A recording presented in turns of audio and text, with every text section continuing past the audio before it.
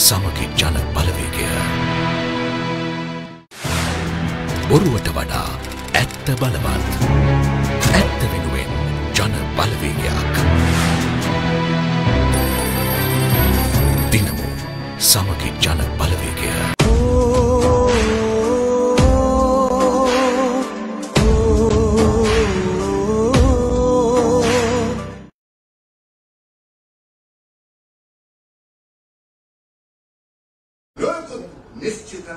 ක්ෂේත්‍රවල දැන් මේ ප්‍රතිපත්ති ප්‍රකාශනය ඉදිරිපත් කරන මොහොතේ අපේ කදයක් පිළිගන්නට ඕන. කිසිම රටක ගමනක් යන්නට පුළුවන්කමක් නැහැ. ආලෝකමත් මාර්ගයකට යන්නට පුළුවන්කමක් නැහැ. ආලෝකමත් ඥාන ඥානවන්ත පරිණත කැපවුණු මහා ප්‍රතිපත්ති ප්‍රතිපත්ති ගරුකභාවයක් ඇති නායකයෙක් සහ දැක්මක් නැත්නම්.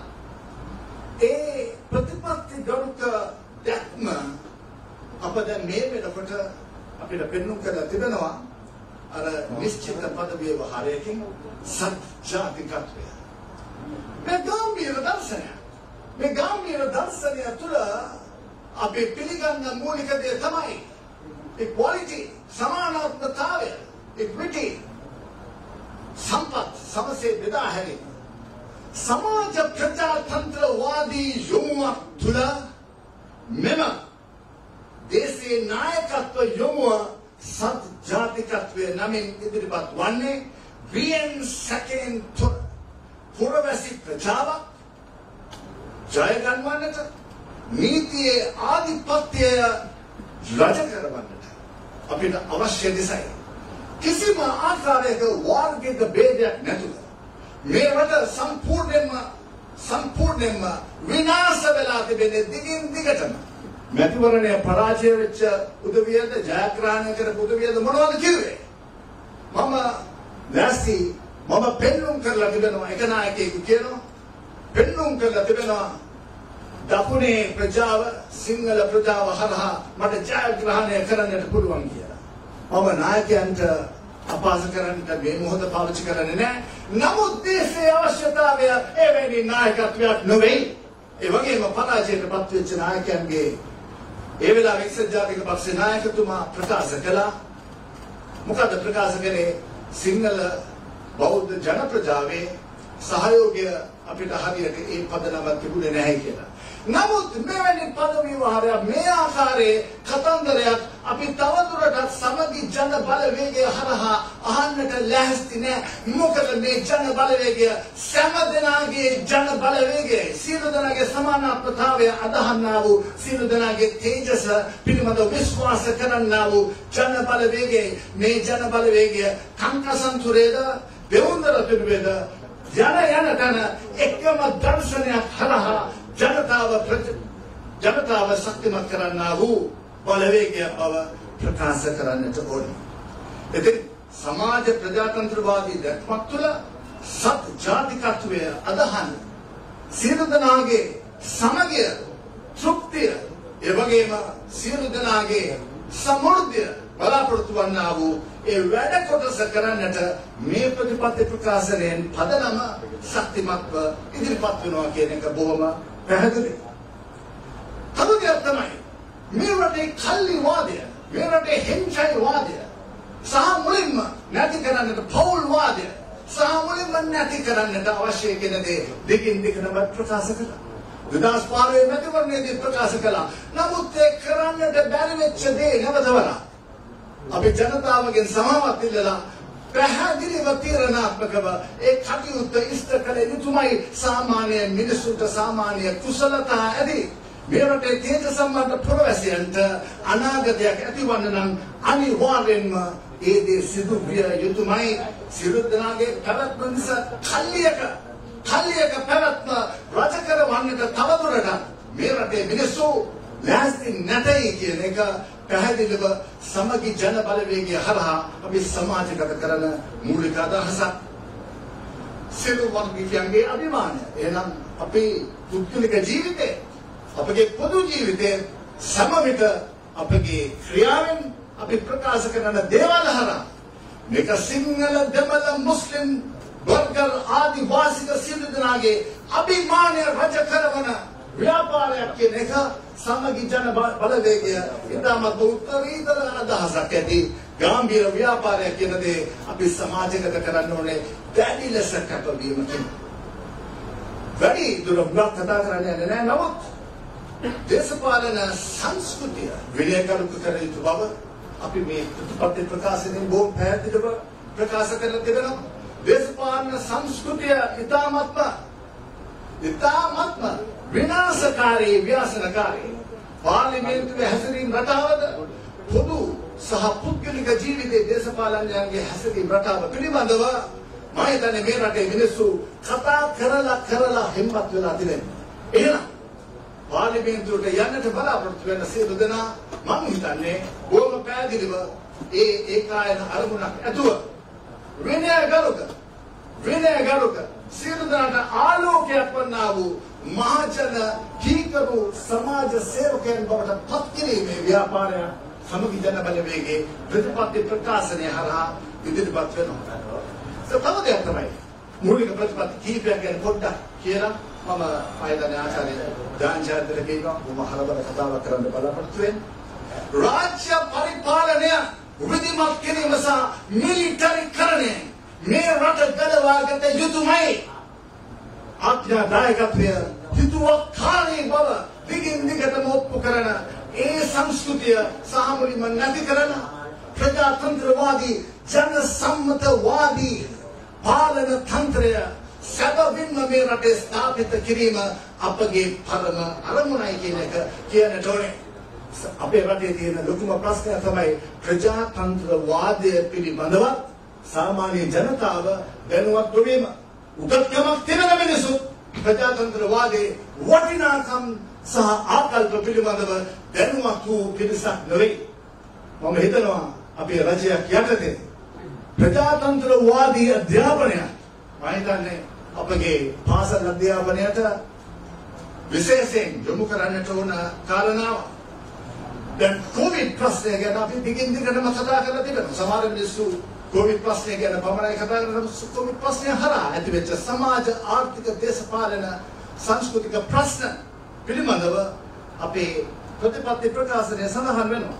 මූලික වශයෙන් මේ ප්‍රශ්නය හරහා බෞද්ධරය නේද බැටකෑ දෛනික වැටුප් ඒ වගේම කුඩා මහ කුඩා සහ මධ්‍යම පරිමාණයේ ව්‍යාපාරික ප්‍රජාව සහ මුලින්ම විනාශ කරපු රජයක් තමයි මේ දැන් පවතින රජය. ඒ තත්ත්වය තුළ අපේ ප්‍රතිපත්ති ප්‍රකාශනයේ සඳහන් වෙනවා මොන විදියටද සහන ලැබිය යුත්තේ මේ අහිංසක බහුතර ජනතාව කෙලින් කරන්නේ නැතුව මේ රටට කිසිම විදියක ආශිර්වාදයක් කිසිම කෙනෙකුගෙන් ලැබෙන්නේ නැහැ. දෙවියන්ගෙන්ද මනුෂ්‍යයන්ගෙන්ද කිසි කෙනෙකුගේ ආශිර්වාදයක් ලැබෙන්නේ නැහැ. මේ රටේ අහිංසක පොදු ජනතාව පැත්තකට දමලා අපි සංවර්ධන ක්‍රියාවලියක් ගැන කතා කරනවා නම් ඒ වගේම පශ්චාත් කෝවිඩ් වැඩ සංස්කෘතිය ගැන සඳහන් වෙන ප්‍රතිපත්ති ප්‍රකාශනයේ. ඊට අවශ්‍ය කරන්නා වූ දීප ව්‍යාප්තව දිස්ත්‍රික්ක 25ක පළාත් 9ක අවශ්‍ය කරන්නා වූ මිනිස් යටිතල පහසුකම් ශක්තිමත් කිරීම කරන්නේ නැතුව නිකන් කියන්නන් වාලේ වැඩ කොවිඩ් පශ්චාත් කොවිඩ් පශ්චාත් කොවිඩ් නෙවෙයි කොවිඩ් ය මැද වැඩ සංස්කෘතිය පිළිබඳව අපිට කතා කරන්න පුළුවන් කමක් නැහැ. සදාචාර සම්පන්නව කතා කරන්න පුළුවන් කමක් නැහැ. යටිතල පහසුකම් බටහිර මේ බස්නායක පළාතේ. ब- බස්නායක පළාතේ. ඌව වෙලස්ස නෙවෙයි. යටිතල පහසුකම් පිළිබඳව අපි අවදිව සිටිනවා. ඒ දේ කිරීමට අපි බලාපොරොත්තු වෙන බව මේ ප්‍රතිපත්ති ප්‍රකාශනයේ සඳහන් වෙනවා. ඒ වගේම සියලු ව්‍යවසායකත්වය ව්‍යවසායකත්වය සහ ව්‍යවසායකයන් දිරිමත් කිරීම උන් අවශ්‍ය කරන්නා වූ ඒ මූලික මූලික උපදෙස් සහ යටිතල පහසුකම් ඒ වගේම උන්ට දිය යුතු මූල්‍ය සම්පත් ඔවුන්ගේ යෝජනාවල ගුණාත්මක භාවය නිසා ඔවුන් ඔවුන්ගේ දේපල මොනවද තිබෙන්නේ අපේට තියන්නට ලෑස්ති මොනවද? ඒව ගැන කතා කරන්න පුළුවන් රටක්ද? මේ අහිංසක පීඩිත කුසලතා පූර්වක මහා පිරිසක් ඉන්න රටේ මොනවද මේ උදවිය කරලා තිබෙන්නේ? ඊට පිළිතුරු දීම මම හිතන්නේ බොහොම පැහැදිලිව මේ ප්‍රතිපත්ති ප්‍රකාශනයේ සඳහන් වන්නා වූ දෙයක් තවත් දේවල් තමයි අතර කාන්තා සහ තරුණ ප්‍රඥප්තිය. නිකන් කතා කිරීමක් නෙවෙයි තරුණයන් තුල තිබෙනා වූ අසහනය සම්බන්ධව රණසිංහ ප්‍රේමදාස මැතිතුන් ඉතාමත් පැහැදිලිව තරුණ කොමිසන් සභාවක් බිහි කළා. ඒ තරුණ කොමිසන් සභාවේ තිබුණු සියලු කරුණු නිකන් කොළගෑල්ලක් නෙවෙයි ඒ සියලු දේ ප්‍රතිසංස්කරණ වාදී යුගයකට රණසිංහ ප්‍රේමදාස මැතිතුමා යොමු කළා. මෙරිටොක්‍රසි කියනා වූ සිද්ධාන්තය එක්සත් ජාතික පක්ෂයත් නමසේ අනුතුරෙන් පස්සේ ඒක පිළිගත්තද කියන එක මම ප්‍රශ්න කරනවා.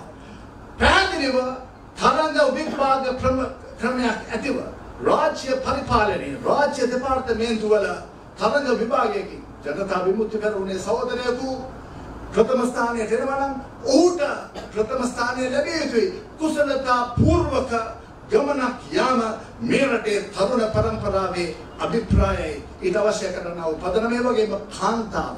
කාන්තාවගේ අභිමානය සහ කාන්තාව දිරිමත් කිරීම ශක්තිමත් කිරීම අපගේ මූලික වශයෙන් අපගේ සංස්කෘතිය රටේ සංස්කෘතියට ගැලපෙන පරිදි ඇයට හිමි තැන ලැබිලා නැහැ නේද? ඒ පිළිබඳව නිකන් කතා කිරීම නෙවෙයි කාන්තා ප්‍රඥප්තිය තිබෙනාව කරුණු නීතිමය වශයෙන් පිළිගැනීමක් ඇති කිරීමට කටයුතු කරන බව ඉතාමත් පැහැදිලිව සඳහන් වෙනවා. ඒ වගේම අධ්‍යාපන ක්‍රමය මම නියෝජනය කරන්නේ විශ්වවිද්‍යාලය. විශ්වවිද්‍යාලයේ අපි දන්නවා ප්‍රාථමික ද්විතීක අධ්‍යාපන ක්‍රමය නෙවෙයි ඊට ඊට කලින් පෙර පාසල් අධ්‍යාපනයේ ඉඳලා සමගි ජන බලවේගයේ නායකතුමා ඒ පිළිබඳව හිතලා තිබෙනවා අපේ සාකච්ඡාවල දිගින් දිගට කතා කරා early childhood education සම්බන්ධව ඒ සම්පූර්ණ ප්‍රමිතීන් ඇතුව මේ රටේ ජනතාව ශක්තිමත් කරන්න පුළුවන් කමක් නැහැ. එබැවින් අපි කතා කරන දර්ශනය හොලිස්ටික් සමස්ත ලොකු පින්තූරයක් සම්බන්ධවයි. ඒ සමස්ත ලොකු පින්තූරේ ජයග්‍රහණය කරවන්නට ඔබ සියලු දෙනා වඩා දිරිමත්ව අද මේ මුලස්ථානයෙන් පිට වෙලා යනකොට ජනතාව අතර බලාපොරොත්තු පිට බලාපොරොත්තු තබලා සටන් කාමීත්වය වැඩි වැඩියෙන් නැති කරලා මේ ගමන ප්‍රගතිශීලී පරිණත ගමනක් බැරි ප්‍රතිපත්ති ගනුක භා- භාවයක් ඇති ගාම්භීර ගමනක් බැවින් ඒ ජයග්‍රහණය කරන්නට ඔබ සියලු දෙනාට ශක්තිය ලැබේවා කියලා ප්‍රාර්ථනා කරමින් සමගි ජන බල වේගයට ජය වේවා කියමින් මම නිහඬ වෙනවා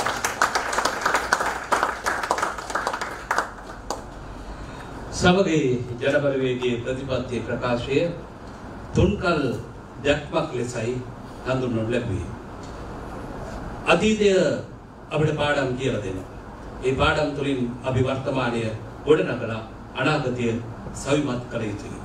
මේ තුන්කල් දැක්ම සාක්ෂාත් කරගන්නට නම් තෙවන ඇසකින් මේ ප්‍රතිපත්ති සම්පාදනය දෙස විමසුමක් කළ යුතු වෙනවා. රටේ ප්‍රතිපත්ති සම්පාදනයේදී දෙවන ඇසකින් මේ සියල්ල විමර්ශනය කරමින් විමසමින් ගවේෂණය කරමින් සමාජය ජනතාව දැනුවත් කරන්නට උත්සාහ කළ උත්සාහ දරන විද්වතෙක් අද අපත් සමග මේ සභාවේ සිටිනවා. දෙවන ඇසකින් මේ රටේ අනාගතය දකින්නට සමගි ජනබලවේගයට යා යුතු ගමන් මඟ කුමක්ද? මේ ආරාධනය ආචාර්ය දයන් ජයතිලක මහතාට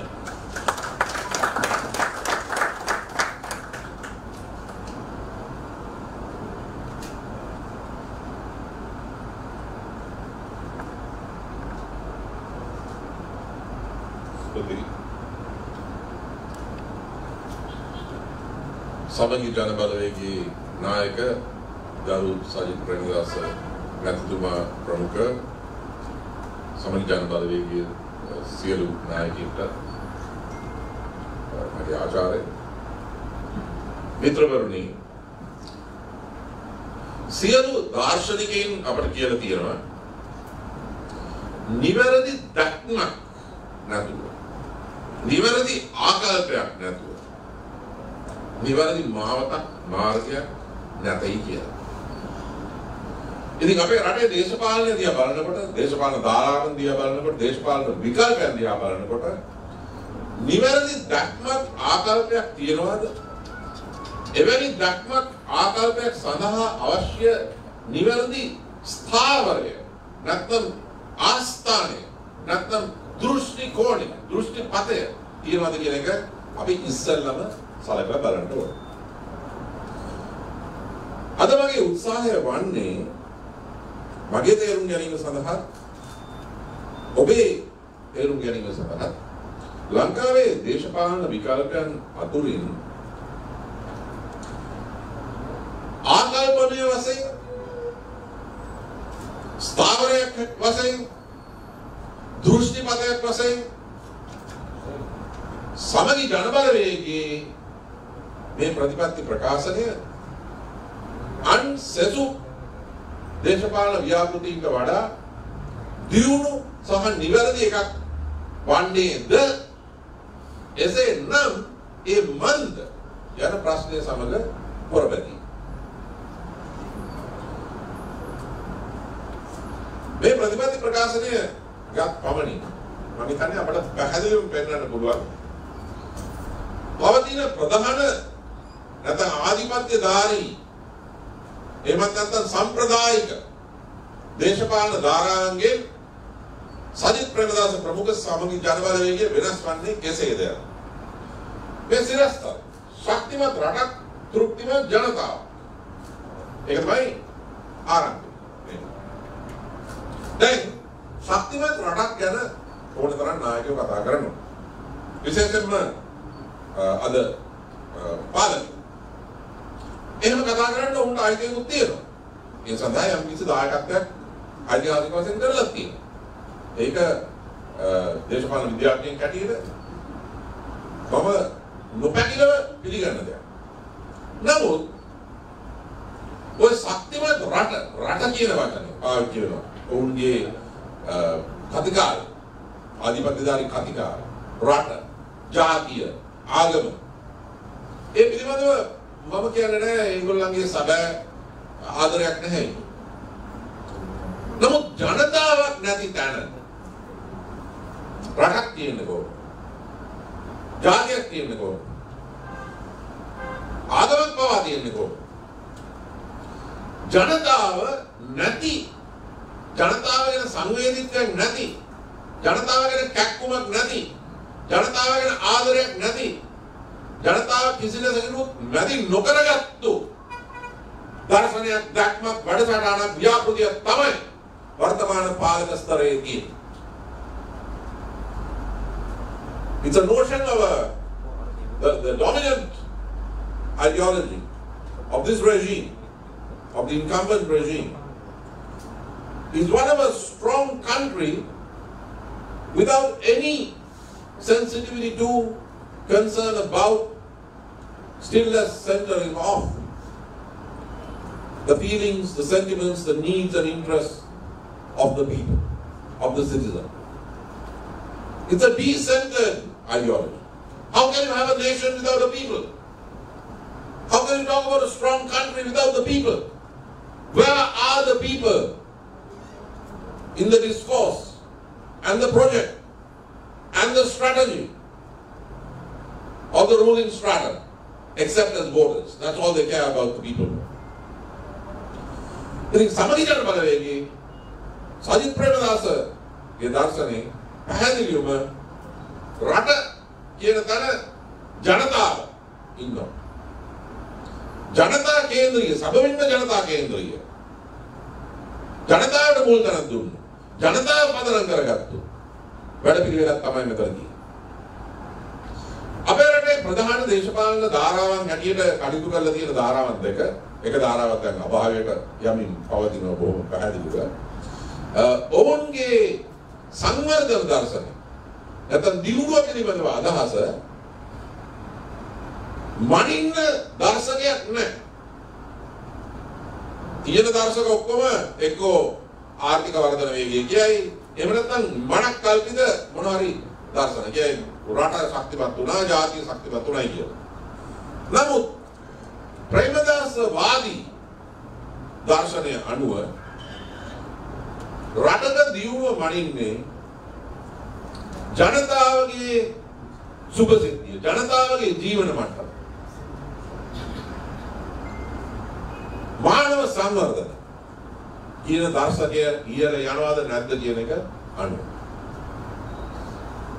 ඒකට ජාත්‍යන්තර වශයෙන් ජාත්‍යන්තර ශබ්දකෝෂයේ ඉංග්‍රීසියෙන් කියනවා ඉස්සර කිව්වා physical quality of life index කියලා. අපේ ආචාර්ය හර්ෂ රාණ එහෙම හොඳට පුරුදු ඇති. ඒ PQLI එක ඊළඟට human development index බවට පත් වෙනවා. මානව සංවර්ධන. දැන් සජිත් ප්‍රේමදාස ප්‍රමුඛ සමාජ ජනබලවේගයේ පමණක්මයි ජනතාවට එවැනි තැනක් දීලා තියෙන්නේ. මේ මුළු ප්‍රතිපත්ති ප්‍රකාශනයේම හැමතැනම තියෙන දේවල් මම කියවන්නේ නැහැ. මම හිතන්නේ මහාචාර්ය මහින් මෙන්දිස් මට වඩා දිගට ඉගෙන කතා කරා. මොකද මම කිව්වේ ඇයි මම හිතන්නේ මේ ප්‍රතිපත්ති ප්‍රකාශනය සංකල්පීය වශයෙන් ආකල්ප සංකල්ප වශයෙන් ගත් විට අන් සියලු දේශපාලන ව්‍යාපෘති අද රටේ තියෙන ඒ දේශපාලන ව්‍යාපෘති වලට වඩා නිවැරදි හොඳ සහ දියුණු එකක් කියනවා. මෙතනදී මම තෝරා ගන්නවා උපුටා ගන්නවා සජිත් ප්‍රේමදාස මහතාගේ අත්සන් අත්සන සහිතව දෙවැනි පිටුවේ තියෙන එක්ව දින එක්ව දින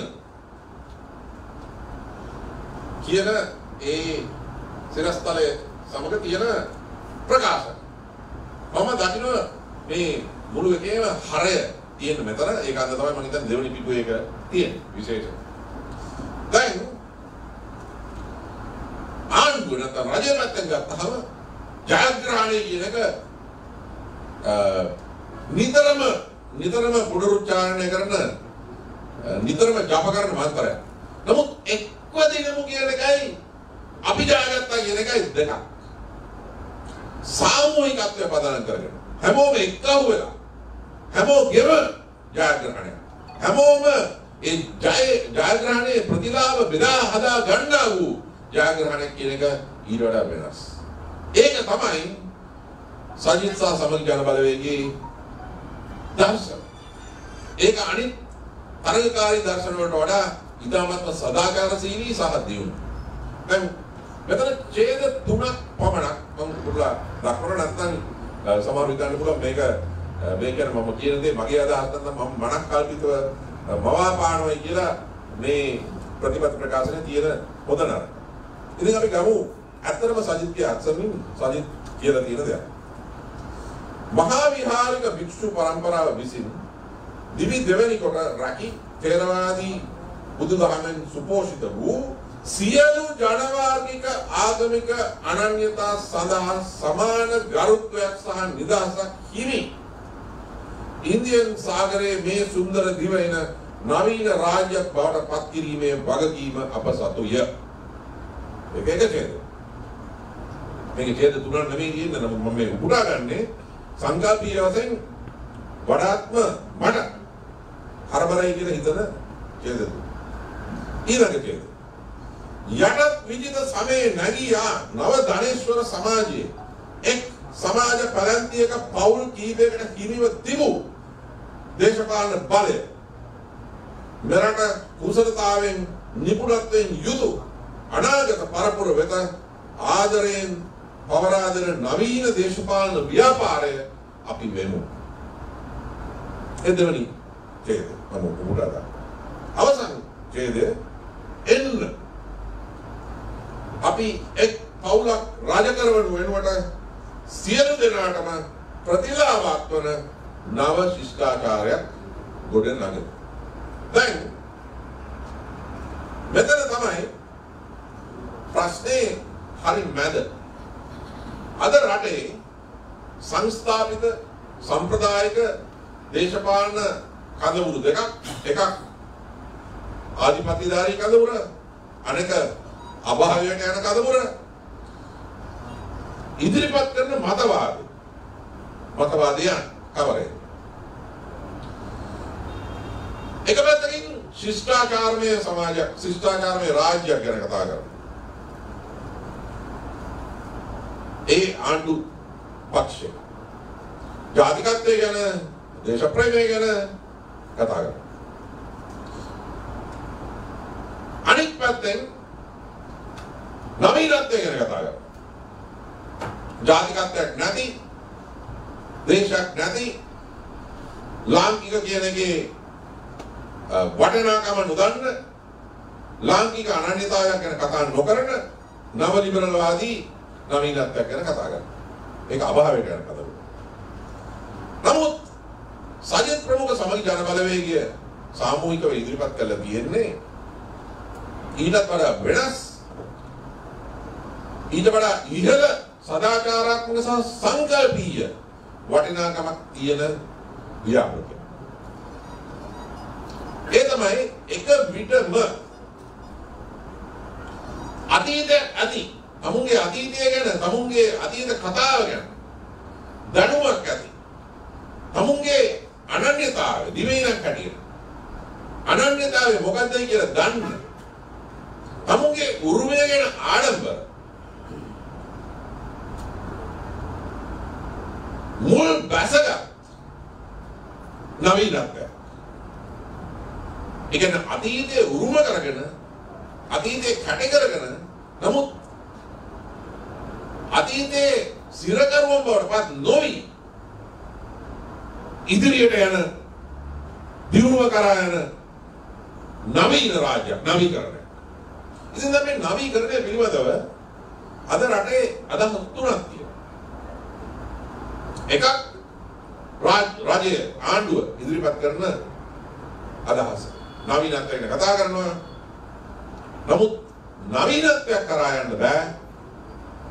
පසුගාමී මතවාදයක් දර්ශනයක් මානසිකත්වයක් සහිතව. පටු ජාතිවාදී ආගම්වාදී කුලවාදී ස්ත්‍රී පුරුෂ ભેදවාදී ප්‍රදේශවාදී පෞල්වාදී මිලිටරිවාදී මතවාදයක් සහ දර්ශනයක් තමයි පාලකයන්ට තියෙන්නේ. ඒ සමගම නවීනත්වයක් ඇති වෙන්න බෑ. ඒක පසුගාමී දර්ශනයක්. විකෘති දර්ශනයක්. නමුත් මෙතන තියෙන්නේ ඊට වඩා හුඟක් වෙනස් වූ ශිෂ්ටාචාරමය දායාදයක් වලට ගරු කරන ඒ සමගම එයින් පෝෂණය වූ නවීනත්වයක් පිළිබඳව ව්‍යාපෘතිය. ඊළඟට සමාජ විපර්යාස ගැන මෙතන කතා වෙනවා. යටත්විද යුගයේ ඉඳන් බිහිවෙච්ච ඒ ධනේශ්වර පෙළපත ඒක කඳුමුරු දෙයකට බෙදලා ගහ ගන්නවා. ඒක පිටු දකින්න. කුසලතාවය, නිපුණත්වය මත පදනම් වූ ඒ ද- දර්ශකය පාවිච්චි කරපු තරුණ පරම්පරාවකට සමාජ හා දේශපාලන බලය මාරු වීම මේ ව්‍යාපෘතියේ දෙවනි වැදගත්ම දේ. එතන සමාජ පරිවර්තනය ගැන කතා කරන්නේ. එක පවුලක හත් දෙනෙක් දේශපාලනය කරන ආණ්ඩුවේ ඉන්නේ නේද? ඒ වගේ view-යක් තියාගෙන ඒ පෞල් බලයට උඩින් හිටපු හමුදා නිලධාරීන් ගෙන් සතුම්ලත් කවුරු තෝ- තෝරාපත් කර නොගත්තු ඒ ඒ විෂයන් ගැන විශේෂ හැදෑරීමක් නිපුණත්වයක් නැති විශේෂ කාර්යබලකායන්ගෙන් සැදී පාලන තන්ත්‍රයක් තුලින් රටක දියුණුවක් ඇති වෙන්න බෑ. නවීනත්වයක් ඇති වෙන්න බෑ. ඒක නවීන දක්ම නෙමෙයි. ඒක රාජාණ්ඩුවක් පිළිබඳව දක්ම. සමගි ජන බලවේගය සහ සජිත් කියත්තේ ශිෂ්ටාචාරමය. අපේ ශිෂ්ටාචාරමය. දායාදය. අපේ ශිෂ්ටාචාරමය පෝසත්කම සහිතව නවීනත්වය කරා යන ගමන. අර අභාවයට එන පරණ බලවේගයට තිබුණ ශිෂ්ටාචාරයක් නැති ලාංකික කියන එකේ වටිනාකමක් නැති උදෙක් සිටියමේ තන. එවැනි නවීනත්වයක්. මුල් සිද්ධගත් නවීනත්වයක්. මම හිතන්නේ ඒක දැන් ජනතාව විසින් යලි යලි ප්‍රතික්ෂේප කරලා අවසන් වතාවටත් නිදාසරේ ප්‍රතික්ෂේප කරනු ඇති. ඒකට තිත මම හිතන්නේ මේ කන්දේ තමයි තියෙන්නේ. නමුත් මෙතන ඉදිරිපත් කළ තියෙන ඊට වඩා හුඟක් වෙනස් නවීනත්වයක් පිළිබඳව අදහසක්. මෙතන නවීනත්වයේ සහ ජාතිය ගොඩනැගීමේ ව්‍යාපෘතිය අනෙක් ව්‍යාපෘතීන්ට වෙනස්. ආධිපත්‍යදායී ව්‍යාපෘතිය ජාතිය කියලා කියන්නේ එක ජන වර්ගයක්, එක භාෂාවක්, එක ආගමක්. අධිපතිකම් කරන ඊනියා ජාතිය ගොඩනැගීමේ ව්‍යා- ව්‍යාපෘතියක් ඒක කවදාවත් හරියන්නේ නැහැ. ඒ හන්ද තමයි රට බෙදීමේ ව්‍යාපාරයක් ඇති වුනේ. ඒ හන්ද තමයි විදේශ හමුදා මේ රටට ආවේ. ඉතින් මේ ආපහු ඒ ගමන යන්න ආද. ආර්ථික වශයෙන් මේ රජය මේ ආණ්ඩුව ජනතාව අඩහාමකට ගෙනිච්ච සංවෘත ආර්ථික ප්‍රතිපත්තිය සියලු ආයාත සීමා කරන තහනම් කරන ප්‍රතිපත්තිය කරා ආපහු ගිහිල්ලා තියෙනවා. නමුත් සජිත් ප්‍රමුඛ සමගි ජන බලවේගයේ ආර්ථික ප්‍රතිපත්තිය ඊටාම පැහැදිලිව මේකේ තියෙනවා. මහාචාර්ය මහින්ද මෙන්ඩිස්කි වගේ සමාජ ප්‍රජාතන්ත්‍රවාදී ප්‍රතිපත්තියක් තියෙන්නේ. ඒ ප්‍රතිපත්තිය අපිට තේරෙනවා මේ මං කියවපු අවසන් ඡේදය. අපි එක් පවුලක් රජ කරවන වෙනුවට සියලු සියලු දෙනාටම ප්‍රතිලාභ අත්තර නව ශිෂ්ටාචාරයක් ගොඩනගනවා. ඉතින් ආණ්ඩුවේ මතවාදය සහ ආකෘතියයි අභාවයට යන විපක්ෂ කදවුරක ආකල්පය ආකෘතියයි පටු පදනමක් සහිත නවීකරණයක් සංවර්ධනයක් ගැන කතා කරන ආකල්ප සහ ආකෘති. නමුත් සමගි ජන බලවේගය සහ සජිත් ප්‍රේමදාස ඉදිරිපත් කරන්නේ පුළුල් පදනමක් සහිත ජාතිය ගොඩනැන්වීමේ සහ නවීනත්වයේ ආකෘතිය. සියලු ජනතා කොට්ටාස වලට ජාතික ආගමික ප්‍රාදේශීය කුලමල ස්ත්‍රී පුරුෂ ભેදයන් නොතකා තමුන්ගේ දායකත්වයට අනුව සාධාරණව තමුන්ගේ හැකියාවට අනුව තමුන්ගේ නිපුණත්වයට අනුව ප්‍රතිලාභ ලැබෙන සංවර්ධනයක් සහ නවීනත්වයක්. ඉතින් මෙතන ඉදිරිපත් වන්නේ මුල් සිඳගත් උරුමයක් නැති අනන්‍යතාවයක් නැති නවීනත්වයක් නෙමෙයි. ඒ සමගම එක ජන වර්ගයකට ආගමකට භාෂික කණ්ඩායමකට පවුලකට නැත්නම් වෘත්තියකට අවිගත් වෘත්තියකට පමණක් ප්‍රතිලාභ සීමා වෙන ආකෘතියක් නෙමෙයි. මෙතන ඇත්තේ අතීතයේ සිට නවීනත්වයට අතීතයේ සිට අනාගතයට එක පාරමක් එක මාවතක් ගොඩනංවන දර්ශනයක්. ඒ සමගම පුළුල් පදනමක් සහිත ජනතාවට මුල් තැන දෙන ජනතාමය නවීනත්වයක් සහ ජාතිය ගොඩනැගීම. ඉතින් මම දකින්නේ මේ හේතුන් නිසා අද ලංකාවේ දේශපාලනය තුල තියෙන මතවාදයන් සහ සමාජ ව්‍යාපෘතීන් ගත්තිට ලංකාව විනාශ නොවි ඉදිරියට ගෙනියන්න පුළුවන්. සීඝ්‍රයෙන් ඉදිරියට ගෙනියන්න පුළුවන්. එකම එකම ව්‍යාපෘතිය සහ දැක්ම මේ ප්‍රේමදාසවාදී සමාජ ප්‍රජාතන්ත්‍රවාදී සමග ජන බලවේගයේ දැක්ම අවසන් වශයෙන් මම කියන්න කැමති ඉංග්‍රීසියෙන් වචන දෙක තුනක් කියන්න කලින් ජාත්‍යන්තර වශයෙන් උත් මේ ස්ථානයට ලෝකයේ විවිධ රටවල් පැමිණෙමින් සිටිනවා. විශේෂයෙන්ම ඇමරිකා එක්සත් ජනපදයේ ගත්තේ. අපි දන්නවා නොවැම්බරේ අතිශය වැදගත් ජනාධිපතිවරණයක් තියෙනවා. ඒ ජනාධිපතිවරණයේදී එක බලවේගයක් ආධිපත්‍යධාරී බලවේගය අපේ ලංකාවේ අද පාලකයන්ට පාලකයෝ ගුරු කොට ගන්න මතවාදයක් සහිත ට්‍රම්ප් ජනාධිපතිතුමාගේ ඒ විකල්පය බහුතර ජාතිකවාදී විකල්පයක්. ඒක ඇමරිකානු ජනතාව දැන් ප්‍රතික්ෂේප කරමින් යන බව සංඛ්‍යා ලේඛන වලින් අපට පේනවා. ඒ ජ- ජාතිකවාදී නැත්නම් මහජාතිවාදී මතවාදයේ ඒ ව්‍යාපෘතිය පැන නැගුණේ නව ලිබරල්වාදී ගෝලී ගෝලීකරණයට විරුද්ධ. ඉතින් නව ලිබරල්වාදී ගෝලීකරණය විවිධ ආකාරයකට ප්‍රතික්ෂේප වෙලා තියෙනවා ලෝකේ පුරා. අවාසනාවන්ත විදියකට ප්‍රධාන ප්‍රතිචාර වෙලා තියෙන්නේ ලංකාවේ වගේ ඊට කලින් ඇමරිකාවේ වගේ මහජාතිවාදී. නමුත් අද ඇමරිකා එක්සත් ජනපදයේම ඒ මහජාතිවාදී ප්‍රතිචාරය විශාල අර්බුදයකට හේතු වෙලා තියෙනවා ඒ නිසා අර්බුදයකට ගිහිල්ලා තියෙනවා.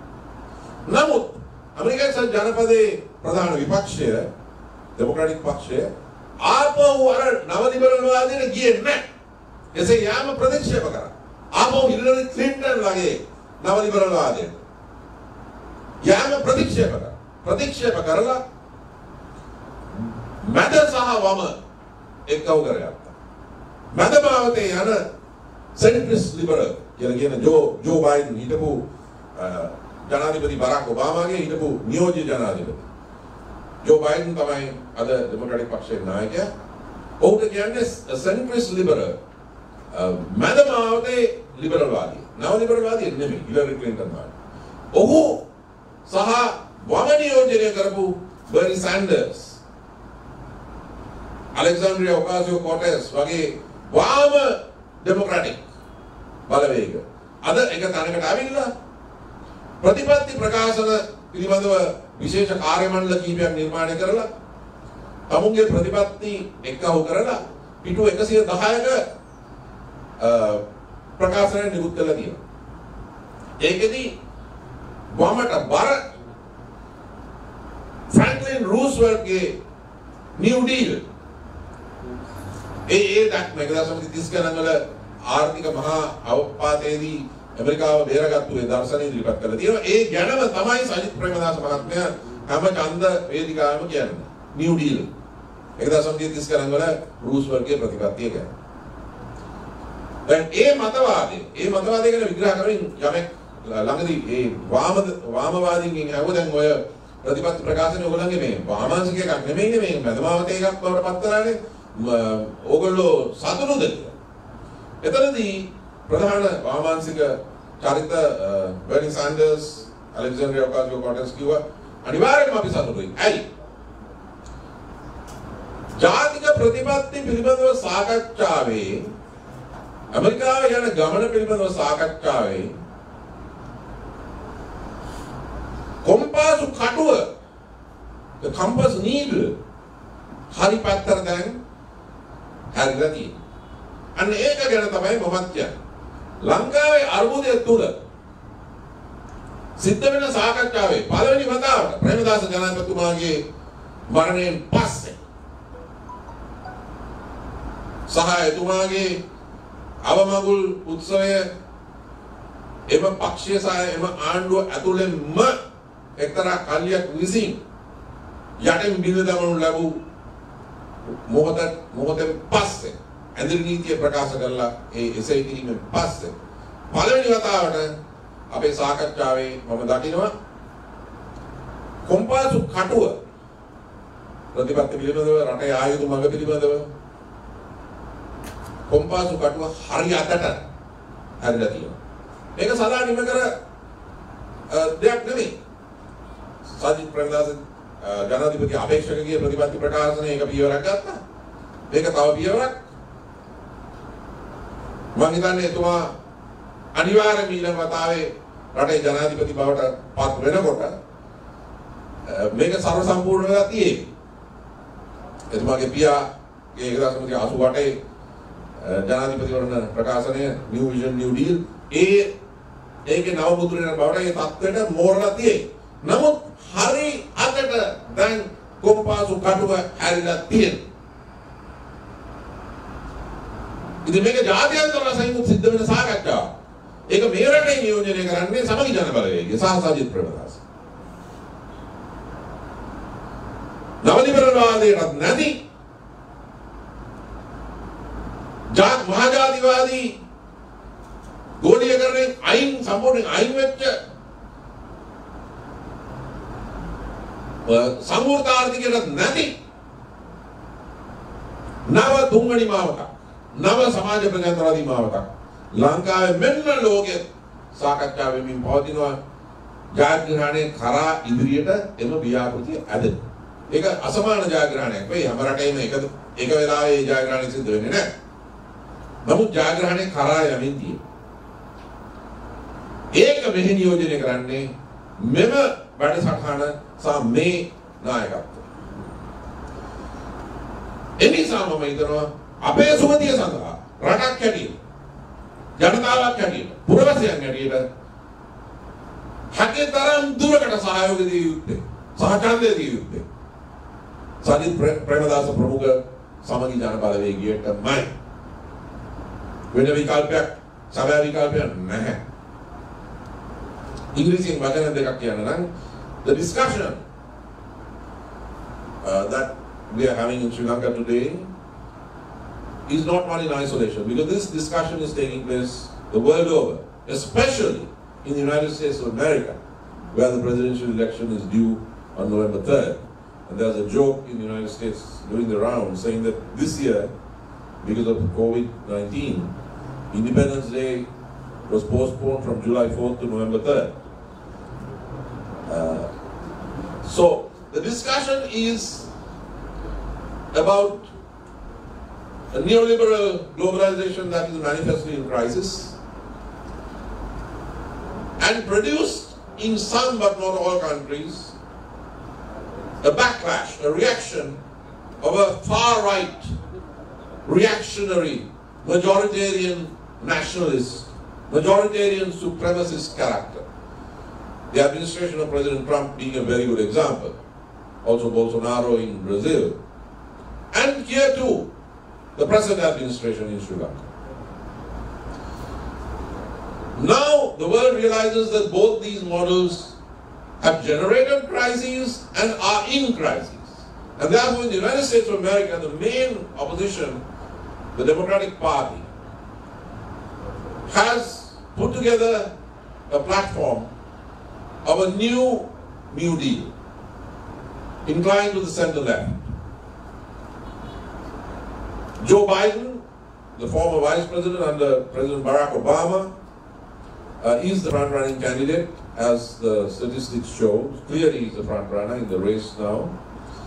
He has consistently been described as a centrist liberal, but now it is said by analysts that the program of the U.S. Democratic Party is the most progressive ever since Franklin Delano Roosevelt in the 1930s. And the Rooseveltian New Deal, which was a successful response and a progressive response to the 1930s Great Depression, as opposed to the fascist response in Nazi Germany, which was also a response to the Great Depression. That New Deal is precisely what Sajid Premadas has been talking about in our context on the election platforms here in Sri Lanka. In the United States, as you know, there was a very strong left-wing surge under Bernie Sanders, but the Democratic Party reunited and uh, appointed many task forces on policy issues, uniting the center and the left, including uh, the youngest ever representative elected to the United States legislature, Alexandria Ocasio-Cortez. And when they were asked, when, when they produced this 110-page document, which was a center-left document, and the leftists were asked, look, you guys call yourselves progressive Democrats, are you satisfied with these policy reforms? And the Sanders uh, AOC wing replied in their tweets, uh, there were many tweets, but the one that was most memorable is that we are very satisfied because for the first time in a long time, the needle of the policy discourse has moved in the correct direction. That, ladies and gentlemen, is what I would say about the policy platform of the Samagi Jana Balavegya led by Sajid Pranadasa. In a country in which The dominant ideology, the ideology of the dominant political bloc is one of racism, religious chauvinism, majoritarian supremacy, militarism, and family clan-based oligarchy. And its fading opponent in the opposition is an advocate of a failed policy of neoliberal cosmopolitanism and globalization.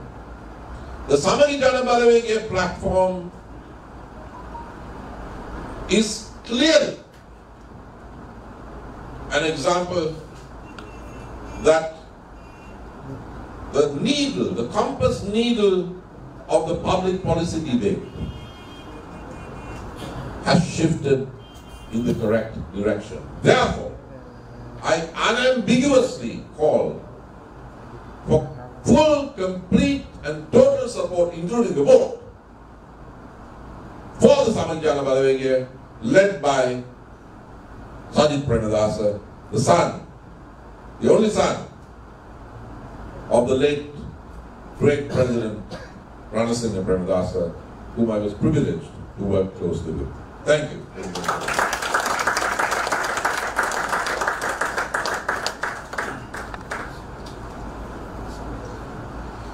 Samagi Jana Balawegaya.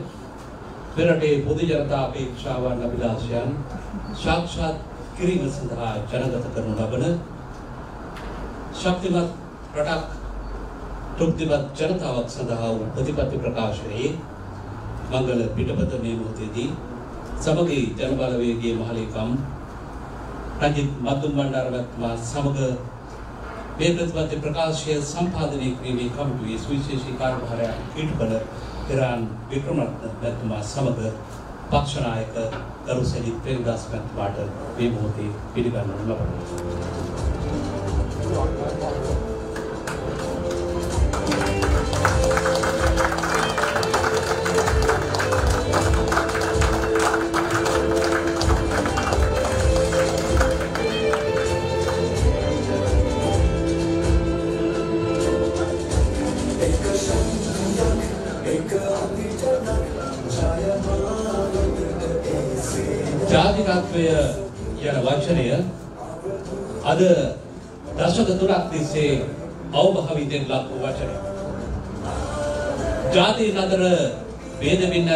ඇති කරන්න ජාතිකත්වය යන වචනේ පාවිච්චි කරනවා. ආගම් අතර බෙදීම ඇති කරන්නට ජාතිකත්වය භාවිතා කළා. එකම ජාතිය අතර විරසකම් ඇති කරන්නට ජාතිකත්වය භාවිතා කළා. දේශපාලන පක්ෂ කඩා බිඳ දමලා ප්‍රජාතන්ත්‍රවාදී පක්ෂ දේශපාලනය විනාශ කරන්නට ජාතිකත්වය භාවිතා කළා.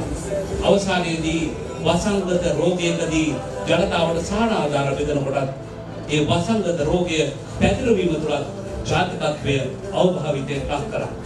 සජිත් ප්‍රේමදාස මැතිතුමාගේ පරිශ්‍රමය උත්සාහය ඒ ජාතිකත්වය ධනාත්මක ස්ථාවරයකට ගෙනමින් සත් ජාතිකත්වයක් මේ රට තුළ ගොඩනගා ගන්නවා.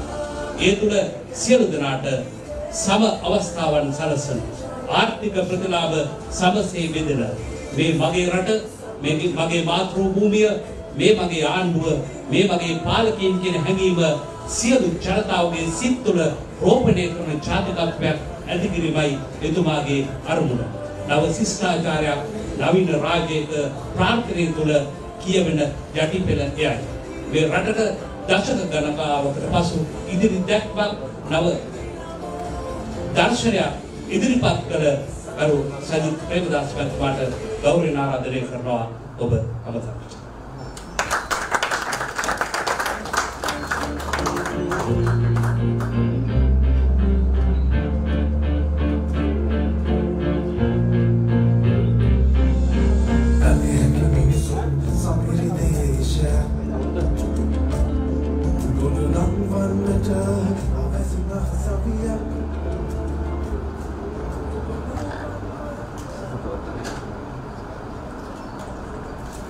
සමගි ජන බලවේගයේ ගරු මහලේකම්තුමා ගරු ජාතික සංවිධායකතුමා. ඒ වගේම අප හිතාදර පක්ෂ නායකින් ජ්‍යෙෂ්ඨ නායකින් මේ අවස්ථාවට සහභාගී වී සිටින විද්වත් ආචාර්යවරුන් මහාචාර්යවරුන් වෘත්තීයවේදීන් ඒ වගේම පැමිණ සිටින සෑම සියලු දෙනාගේම අවසරයි. අප මාතෘභූමියේ ප්‍රජාතන්ත්‍රවාදී දේශපාලන ඉතිහාසයේ නව හැරුම් ලක්ෂයක ආරම්භයක් හැටියට ජනතාවත් අපත් අතර ඇති කරගන්නා වූ සමාජ ගිවිසුම මම හඳුන්වන්නට කැමතියි. පක්ෂයක ප්‍රතිපත්ති ප්‍රකාශයකින් ගම්‍ය වන්නේ අනුගමනය කරන්නට බලාපොරොත්තු වන ප්‍රතිපත්ති මාලාව. විශේෂයෙන්ම මේ අවස්ථාවේ අපේ සමගි ජන බලවේගයේ ප්‍රතිපත්ති මාලාවත් අපේ ගමනත් අතර පුංචි පැහැදිලි කිරීමක් කරන්නට ඕන. ප්‍රජාතන්ත්‍රවාදී ඉතිහාසයේ පුරාවටම සෑම මැතිවරණ සමයකම අපි දැකලා තියෙනවා අපි අහලා තියෙනවා විවිධ ප්‍රතිපත්ති ප්‍රකාශන නිකුත්. රාජ්‍ය බලය ලැබුණු අවස්ථාවකදී කොතෙක් දුරට ඒ ප්‍රකාශිත ප්‍රතිපත්තිය ක්‍රියාත්මක වෙනවද කියන එක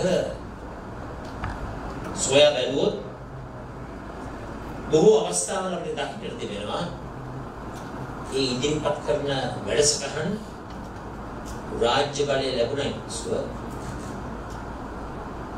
ක්‍රමිකව අමතක කිරීම සමගි ජන බලවේගයේ ඉදිරිපත් කර තිබෙන ඒ වැඩ පිළිවෙල දර්ශනය ඒ වගේම සම්ප්‍රදාන කූලව මෙතෙක් කල ක්‍රියාත්මක වූ ප්‍රතිපත්ති ප්‍රකාශන ඉදිරිපත් අතර වෙනස වන්නේ ක්‍රමිකව දිනවකවානු සහිතව සැලැස්මක් අනුව අපි මේ ප්‍රතිපත්ති ප්‍රකාශය මේ රටේ සමස්ත ලක්ෂ 220කට ආසන්න වූ ජනපරපුරක් සමග ඇති කර ගන්නා වූ මේ සමාජ කිවිසුම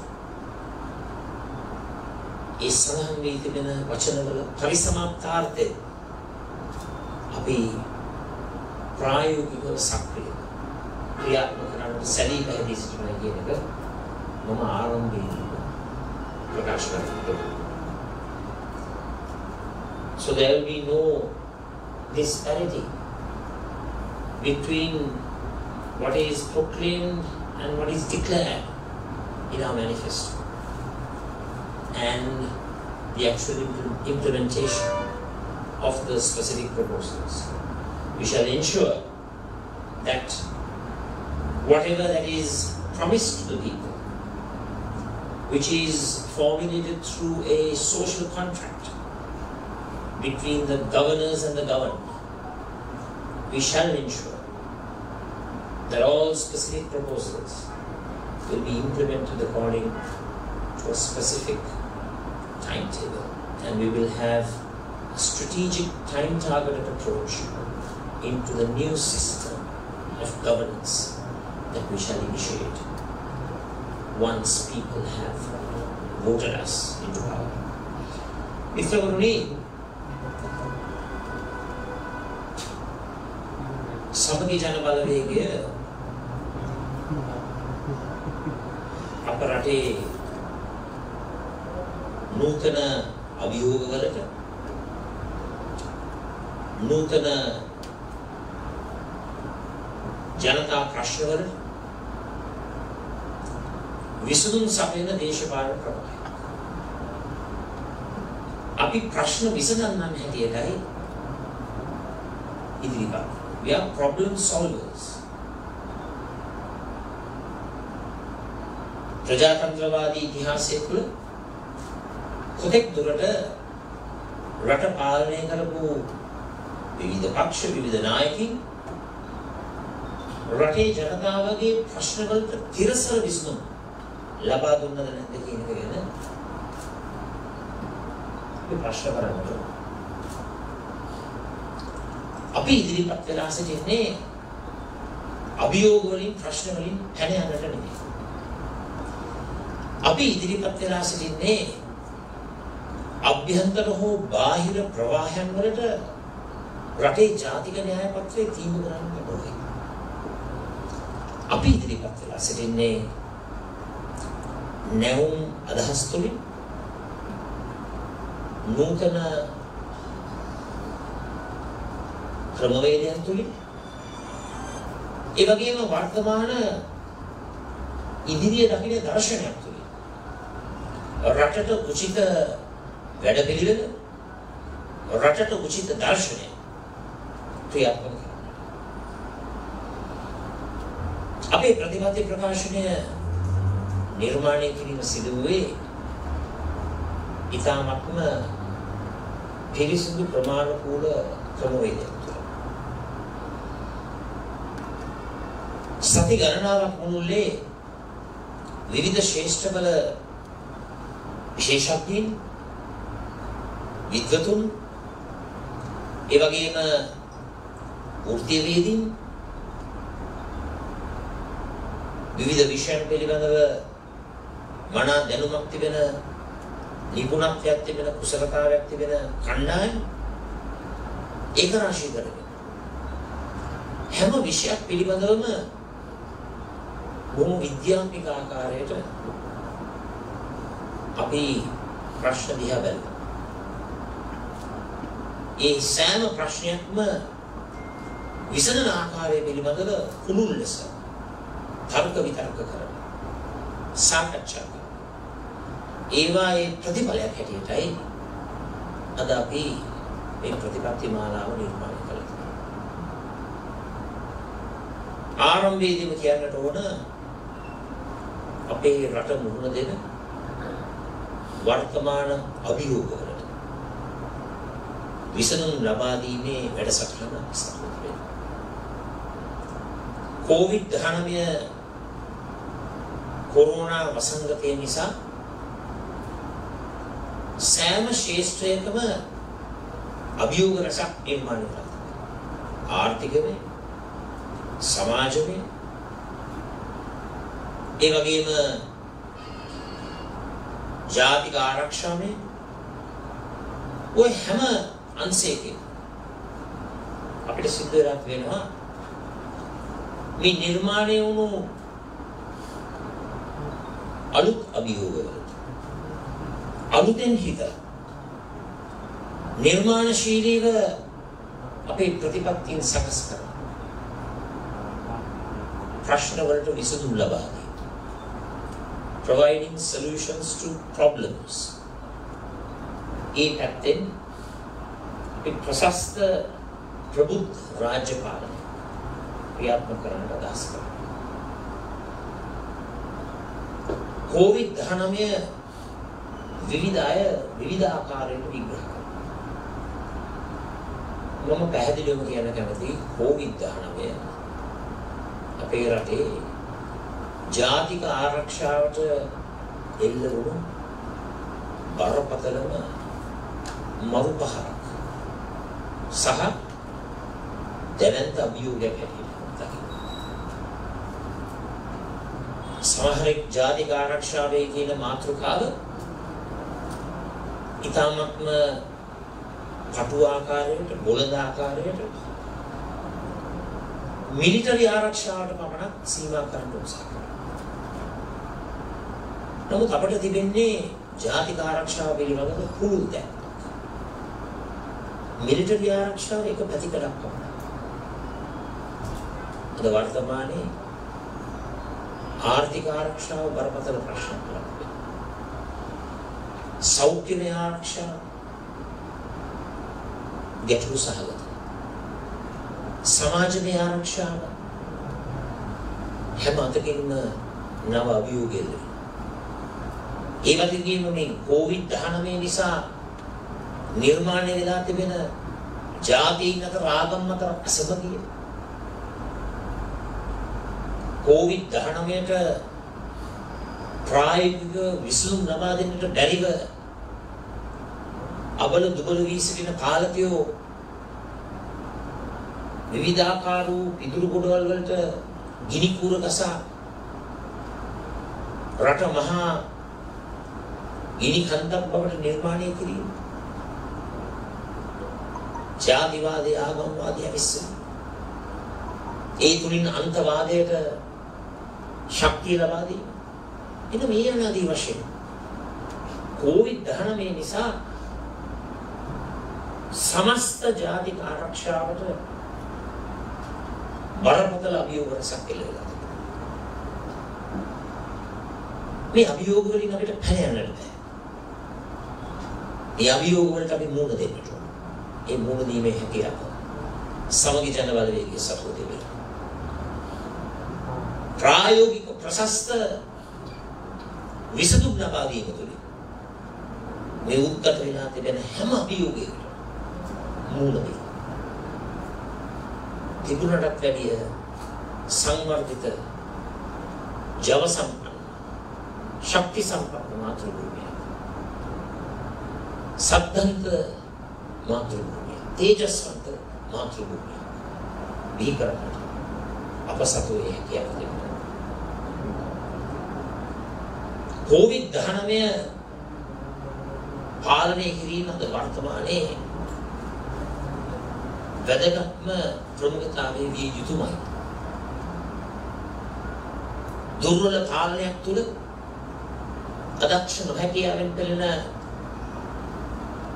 අවිධිමත් වැඩ පිළිවෙලක් තුළ COVID-19 පාලනය කරන්නට බැරි තත්ත්වයට අද නිර්මාණය වෙමින් පවතින.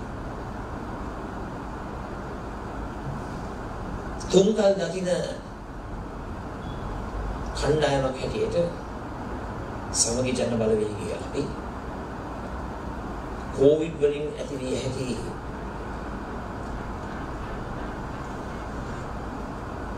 අභියෝග පිළිබඳව කතා කරේ අද ඊයේ. සියලු දෙනාගේම මතක සටහන අපස්සට ගෙන ගියා. ජනවාරි මාසයේ පෙබරවාරි මාසයේ සමගි ජන බලවේගය අපි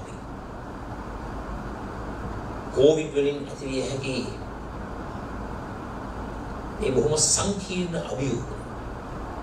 බොහොම භයංකාර තත්ත්වයන් පිළිබඳව. ඒ පාර්ලිමේන්තුවට රටටත් රජයටත් ඉදිරිපත් කරනවා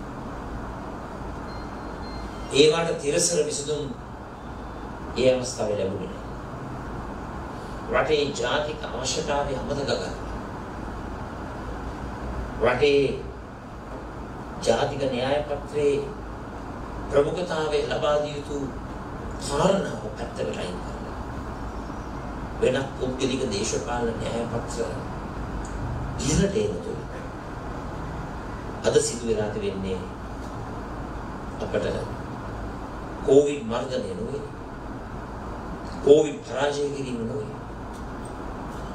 කෝවිඩ් පරාජය කරන්නට බැරිව සිටින මොහොතක දෙවෙනි තුන්වෙනි රැලි වලට කොහොමද අපි රටක් හැටියට මුහුණ දෙන්නේ කියන කාරණා.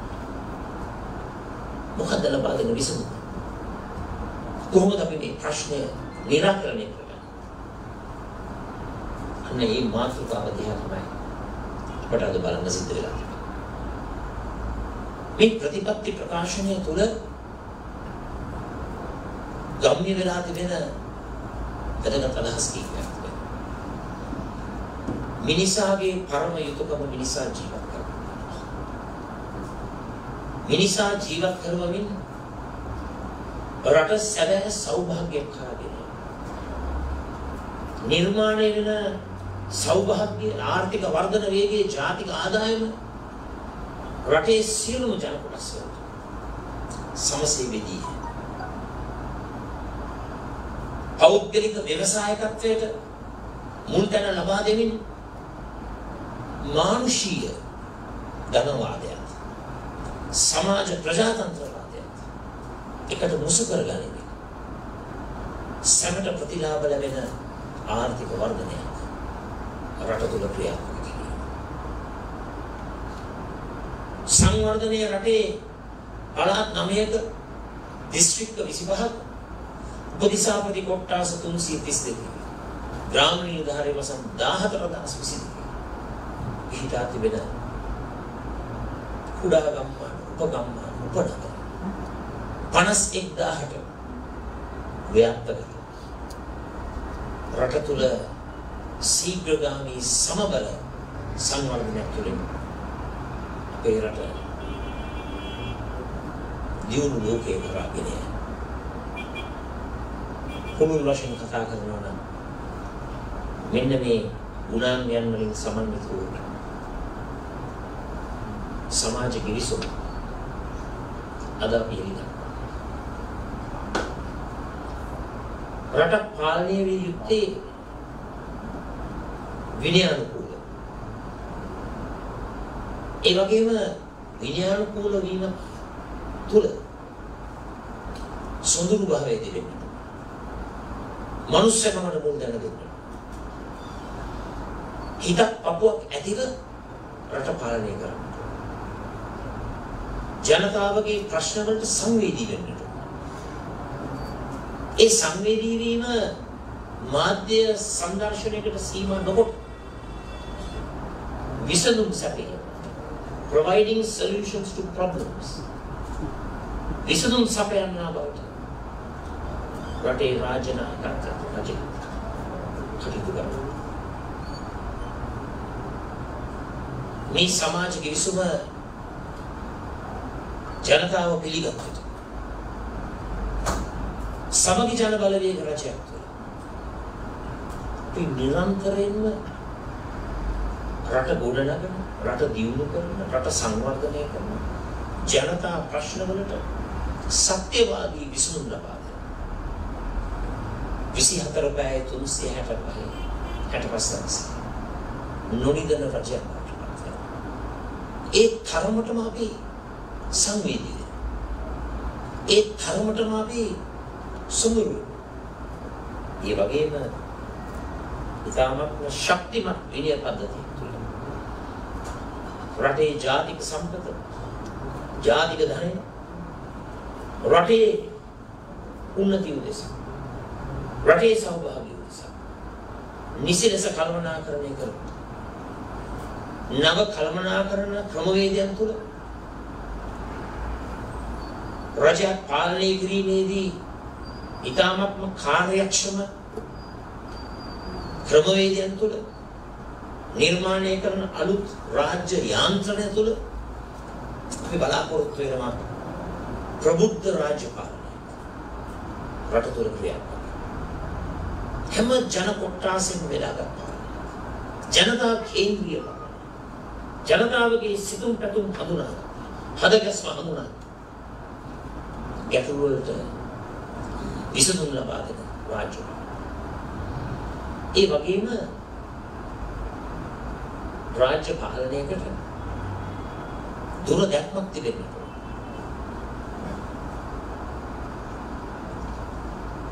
රාජ්‍ය පාලනයක් තුළ අනාගතයේදී රටකට එල්ල විය හැකි අභියෝග පිළිබඳ අවබෝධයක් තිබෙන්න.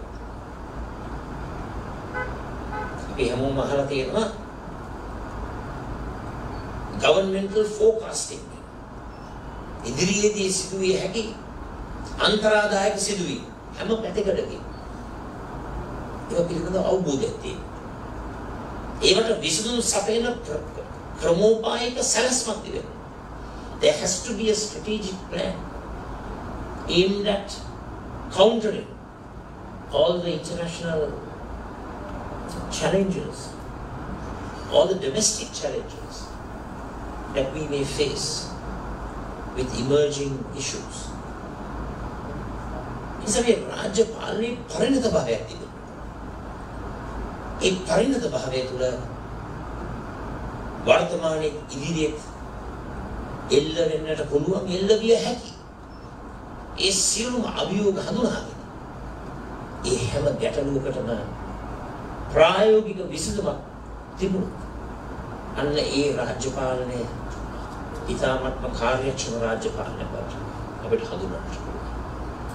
සමගි ජන බලවේගයේ අපේ පරම පවිත්‍ර චේතනා කාර්යක්ෂම රාජ්‍ය පාලන විධිමත් රාජ්‍ය පාලන නාස්තිය දූෂණය වංචාව පිටු දකින රාජ්‍ය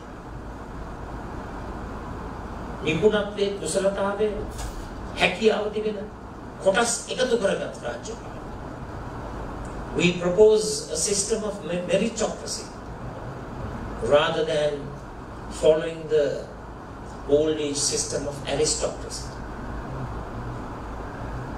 එක කණ්ඩායමකට එක කොට්ටාසයකට එක පවුල් පරපුරකට සීමා වුණ රාජ්‍ය පාලනයෙන් බැහැර කුසලතාවය මත දක්ෂතාවය මත ඒ වගේම ප්‍රතිඵල මත a results oriented approach. ප්‍රතිඵල මත පදනම් වූ රාජ්‍ය පාලනය ක්‍රියාත්මක කිරීම අපේ ඒ කාලේ මේ හැම දෙයක් කරන්නට සෞභාග්‍ය ආර්ථික වර්ධනය සද්ධන්ත ශ්‍රී ලංකා තේජස්වන්ත ශ්‍රී ලංකා මේ හැම දෙයක්ම ගොඩනගන්න රට තුල අභ්‍යන්තරික සමගිය අවශ්‍යයි. ජාතීන් අතර ආගම් අතර ඒ සමගිය අපි ප්‍රවර්ධනය කරන්නට ඕන.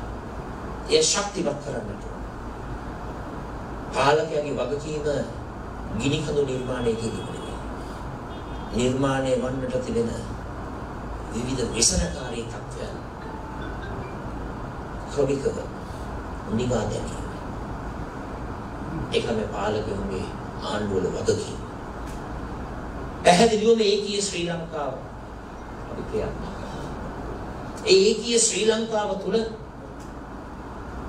දහතුන්වෙනි සංශෝධනය හරහා බලය බෙදා දීමේ වැඩ පිළිවෙල. අපි ක්‍රියාත්මක කරනවා. මෙතෙක් කල පැවතුණු ක්‍රමවේදය අපි ඉදිරියට ගෙනියනවා. එතන 13 ප්ලස් උත් නැහැ 13 මයිනස් උත් නැහැ. අපි එක හඬකින් කතා කරනවා. රාජ්‍ය තාන්ත්‍රික විදේශ ගමනක් ක්‍රියාත්මක කරලා ඒ තමන්ගේ මිතුරු රාජතාන්ත්‍රික සගය හමු වෙනකොට රටේ ජාතික අවශ්‍යතාවය අමතක කරලා විටක ධන ලකුණ දවන්නට තවත් විටක ආපහු ගුවන්තොටුපළෙන් මව්බිමට ඇවිල්ලා මහා පොළොව සිප වැඩ ගන්නකොට ඍණ ලකුණ මතක් වෙන්නට එහෙම ක්‍රමවේදය ප්‍රශස්ත රාජපාලනයක් නෙවෙයි. අපේ තියෙන්න ඕන ස්ථාවරත්වය. We should have consistency and uniformity. එක හඬකින් එක විදිහකට ඉදිරියට යන්නට.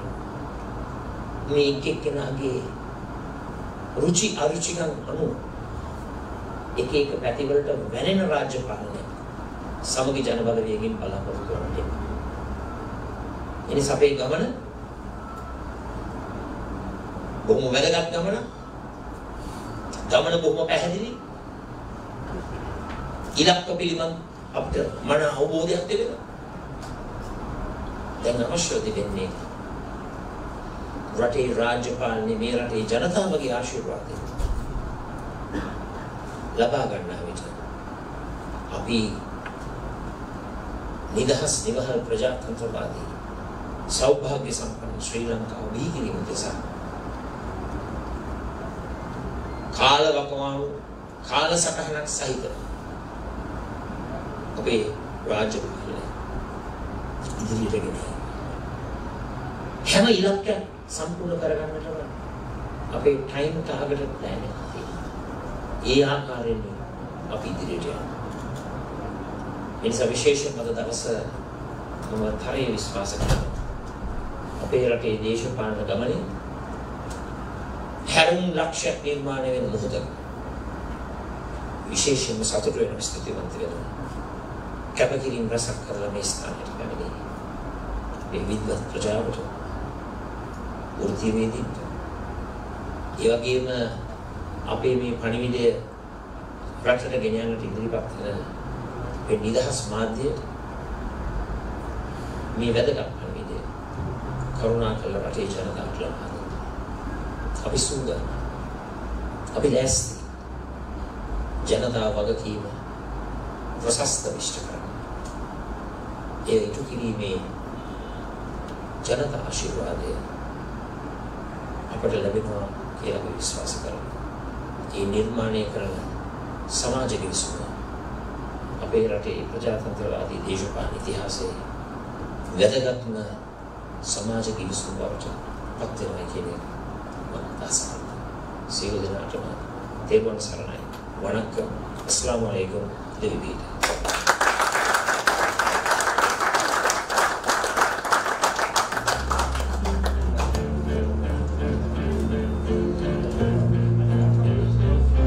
අද දෙදහස් විස්සේ ජූලි මාසය විස්ස මීට අවුරුදු පනස් එක්කට ඉස්සර වෙලා එක්දස් නෝසි හැටමේ ජූලි මාසය විසිදිවෙන්දා නීල් ලාක්ස්ට්‍රෝන් සඳමත පාතැබුවා.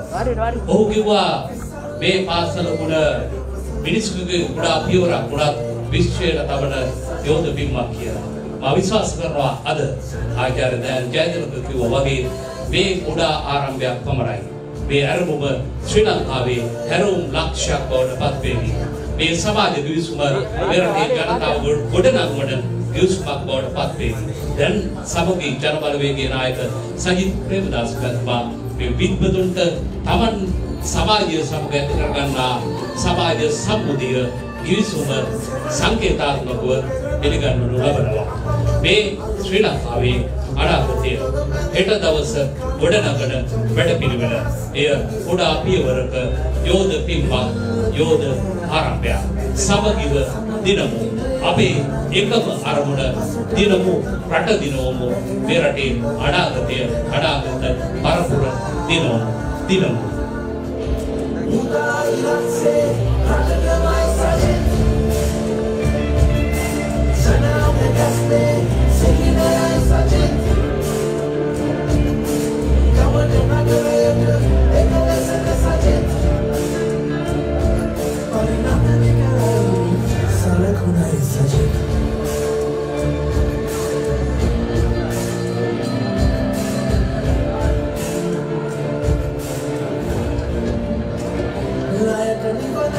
කෙනෙන අහුනක් සැමට තනනා තරුණ ගමනක් හරිත යුගයක් හනට අගයක් සුපුන්දක්මක නැවුම් නිලියක් නිල්ල පිරෙන රැක